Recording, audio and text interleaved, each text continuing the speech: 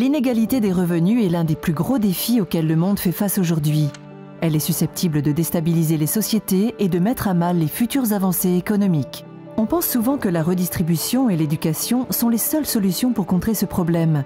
Cependant, il existe de nombreuses façons de promouvoir l'inclusion sociale tout en favorisant la croissance. Le rapport sur la croissance inclusive et le développement prend en compte sept secteurs clés pouvant faire la différence. Emploi et opportunités, offrir à tous des salaires équitables et de bonnes conditions de travail. Éducation, donner aux gens les outils dont ils ont besoin pour réussir. Services financiers, faire en sorte que leurs épargnes et capitaux soient productifs. Services d'infrastructure et de santé, pour une main-d'œuvre en bonne santé, mobile et connectée. Lutte contre la corruption, afin que ceux qui le méritent le plus soient récompensés. Développement des actifs et entrepreneuriat, pour favoriser la résilience et l'innovation. Impôts et la redistribution, juste et progressif. Ce n'est pas la croissance qui importe, mais la mise en œuvre du bon type de croissance.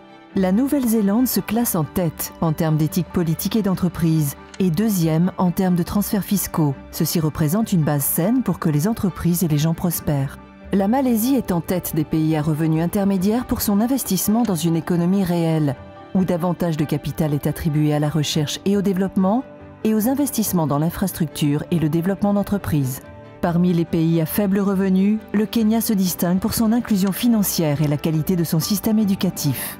Chaque pays du monde doit en faire plus pour stimuler l'inclusion.